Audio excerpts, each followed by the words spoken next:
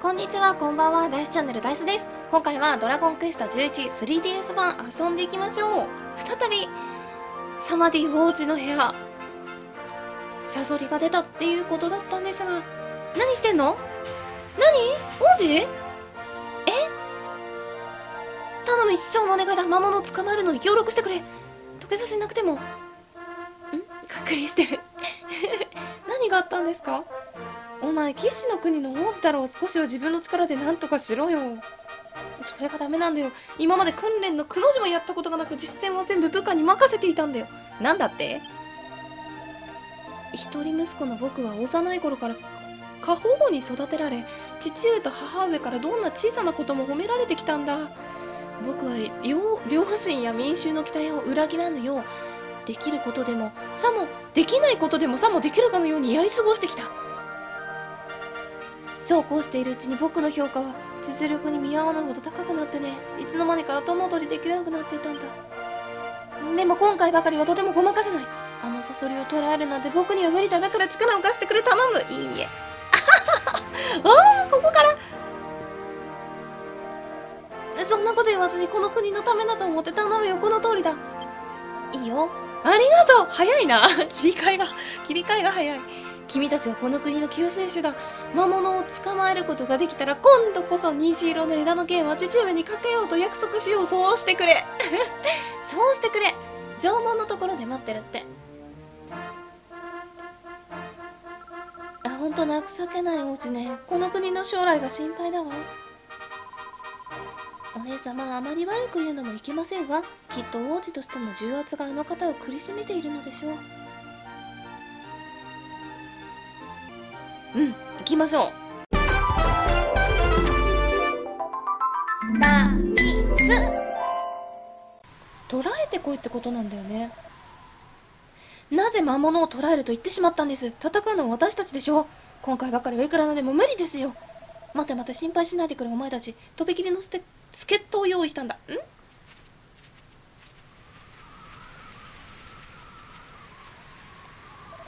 よし来たな。紹介しよう。大さんとその仲間たちだ。彼らに砂漠の殺し屋を捕まえてもらう。砂漠の殺し屋がいる。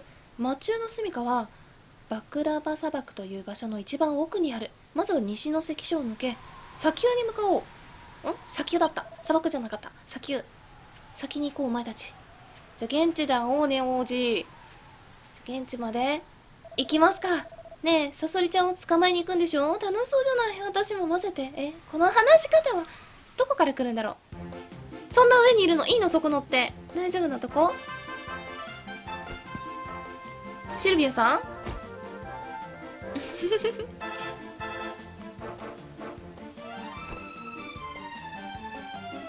サソリちゃんなんて楽しいもんじゃないぜ。だいたいあんた旅芸人だろ？サーカスの方がいいのか？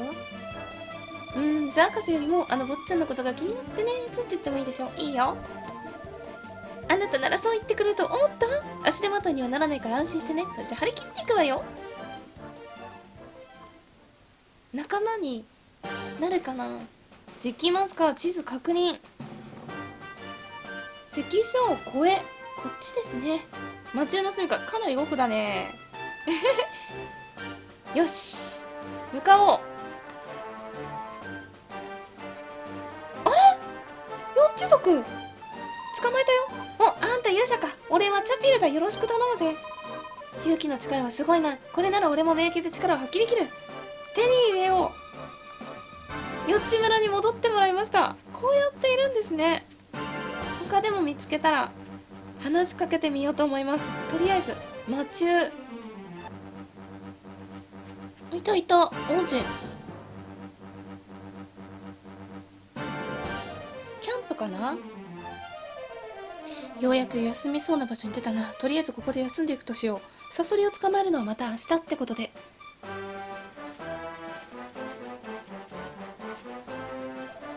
なんだあんたも来てくれたのか。見ての通り明日に備えてここでキャンプを張ることにしたからな。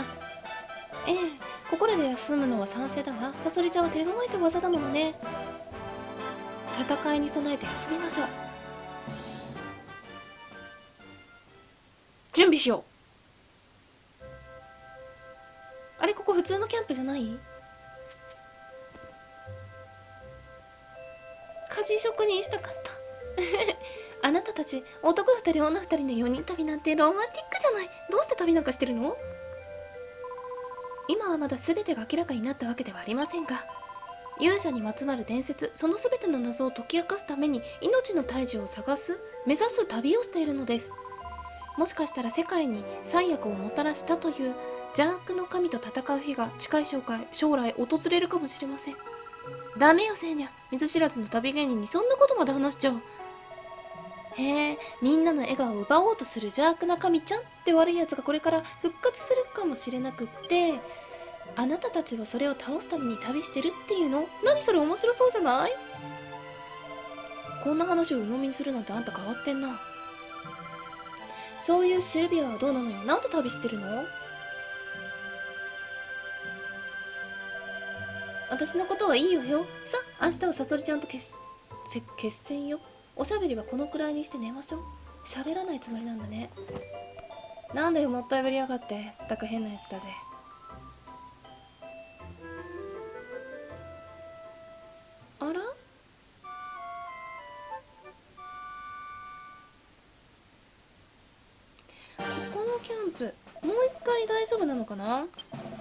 さそりちゃんと決戦ね。ファーリスお坊ちゃんたちなら朝の早いうちに出発したわよ。さあ私たちも先に進みましょう。ここだね。ついに。砂漠の殺し屋いるかな。この辺りにいるはずなんですが。急に出てくるパターンですか？なんだどこにもいないじゃないか。仕方ない。砂漠の殺し屋は僕を恐れて逃げたと父上に報告するとしよう。帰るぞ皆の者。いたよでかっ。え？出た王子砂漠の殺し屋デスコピオンです。でかいね。うわーすごい。さあさそりちゃんのお出ましよ。騎士の国の王子様らしいところ見せてあげて。ん？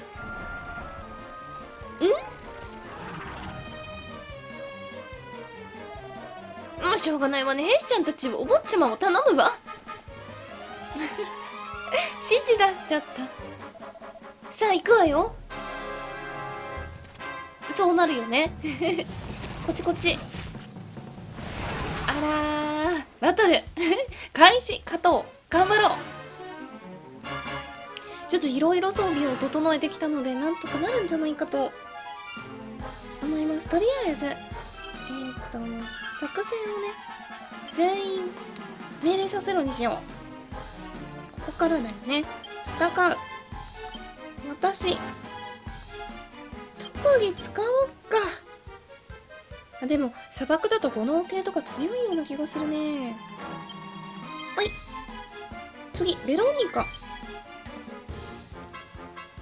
魔結界も貼れるんだね呪文。マジックバリア。入れとこう。でセーニャはスカラ。まだスカラか。防御力で言うとちょっと怪しいの。もとりあえず私からかな。作るとこ欲しいね。体がしびれて動けなくなった。いい感じ。マジックダリアみんなの呪文耐性が上がるよ。呪文を使うのかちょっとわからないんだけどね。とりあえずここから行こう。はい守備力上げる。火炎切りを放つ。19みんなゾーンになってくれないかな。ほい。神攻撃。ベロニカちゃんはここからはヒャドかな。備力かなり下げる。シャヒャドセーニャセーニャ特技。炎ダメージ軽減。わかんないから炎ダメージ打っとこっか。ちょっと。砂漠系だともうイメージ的に炎系な感じがするんだけど違うのかな。しびれて動けないのはいいこと。とてもいいこと。20どうなんだろう。とりあえずね炎系。守りを入れます。ほい。そこからみんな攻撃しよう。注文。ヒャドかな。セーニャちゃん。セーニャちゃんはどうする？スカラしとくか。神谷。16もうちょっと入ってほしいよね。どうかな。ヒャドを唱えた。19これも結構入ってるのかな？火炎切り。守備力をかなり上げる。戦う。普通常攻撃だとどれぐらいなんだろう？えー、どうすんだろう？メメラ？いやいやいやいやうん。いやどう？せーに攻撃どうしましょうかね。しとこっか MP の回復が入るはずだから。直接殴ってもらおう。いや動けるようになってる。もう一回しびれてほしい。普通だと14 3回回復した。これは良きことと思います。回復させながらやろう。じゃあ火炎切りの方がいいんだね。ベロニカはやだ戦術もスカラ入れますか。うんと時間がかかりそうだけどなんとか勝ちたい。炎の旋律解けちゃった。でスコピオンの攻撃はあれだね直接攻撃だね。ってことはあれ？ゾーンになってる。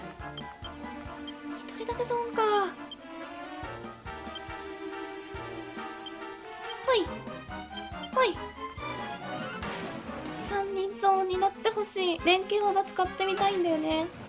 キャメの攻撃。鋭い爪を振りまくってい痛い痛い痛い痛い痛い痛い。全体攻撃かな。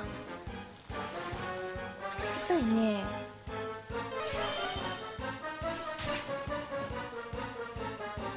そろそろ。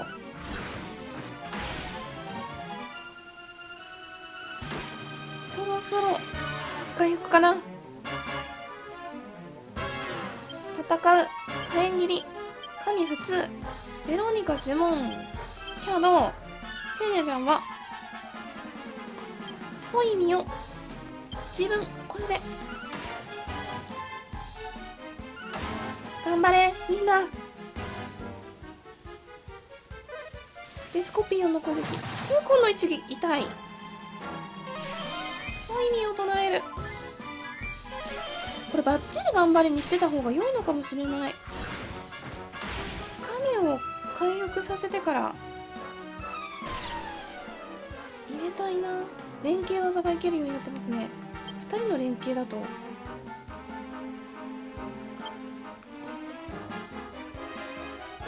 神がゾーンでダイト使える。おセーネちゃんでビーストなんだ。シャドウダックまだいけないから。えー、っと。あ私だった。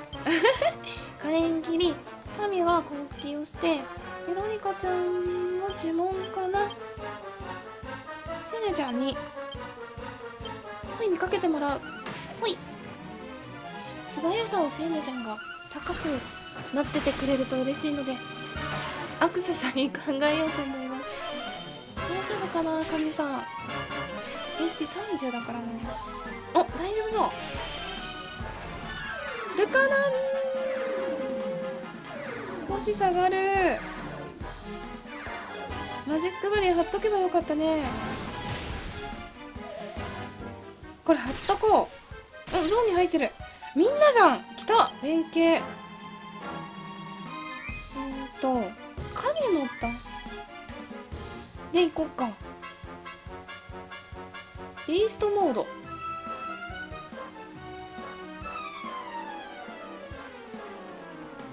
これかな。ダメかな。どっちがいいんだろう。火炎人いやこれにしよう。で私は火炎切りしてえっ、ー、とベロニカは呪文。マジックバリアを貼るセーニャは呪文。ホイミを一回自分から。なんとかなんとかやっていきたい。どうですか？あすごい。あらかっこいい。おお何これ？素敵。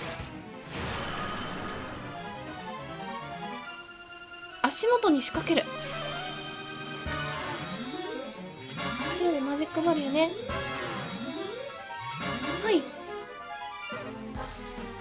痛いなり。まずいなり。次私もホイミかも。火炎切り22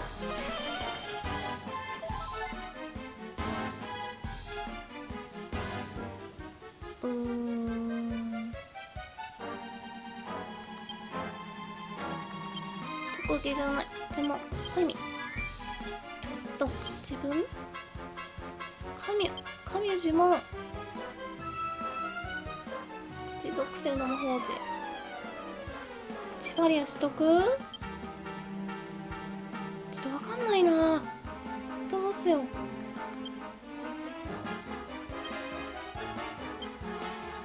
えっと。今大丈夫 ?170 お一発だった。あれま。あよかった。1440経験値レベル12ポイント2獲得。神のレベル12リレミと覚えた嬉しいダンジョンから脱出ができるようになりますね。ベロニカはレベル13イオを覚える魔法トーンを覚える。セーネもレベル13ピオラを覚えた。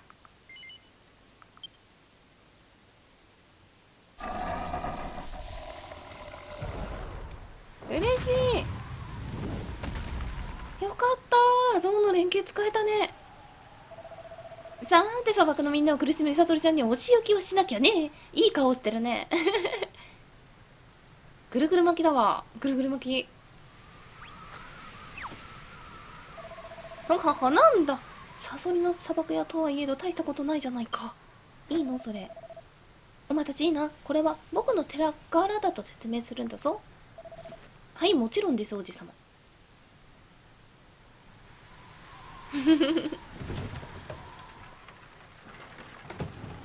重そうだね。君のおかげでなんとかなりそうだ。本当にありがとう。今度こそ虹色の枝の剣父上にかけようから安心してくれ。そうしてくれそうしてくれ。本当にそれでいいのかな王子同じこと言ってる。本当にそれでいいの？こんなやり方で名誉を得ても何も変わらないと思うけど。僕だって好きでやってるわけじゃない。父上や国民の期待を裏切らないためにこうするしかないんだ。そうあなたはそうやって生きていくのね。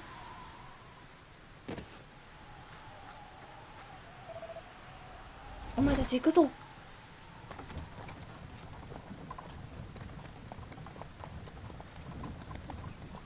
良いのかな？うん。これが正しかったのかわからねえ。あんたの言う通りあのヘボ王子はこのままじゃ何も変わらない気がするぜ。でもあの子は今の自分に満足していない。何かきっかけさえあればもしかしたら化けるかもね。私そろそろ行くわ。旅の途中で見かけたら挨拶ぐらいしてね。じゃあアデュー行っちゃうんだ。シレリアさん。不思議な人だね。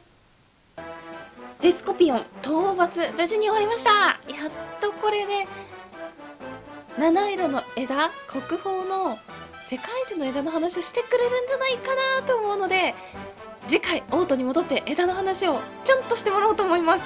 多分してくれなかったらどうしよう。ということで最後までご視聴ありがとうございました。それではまた。See you!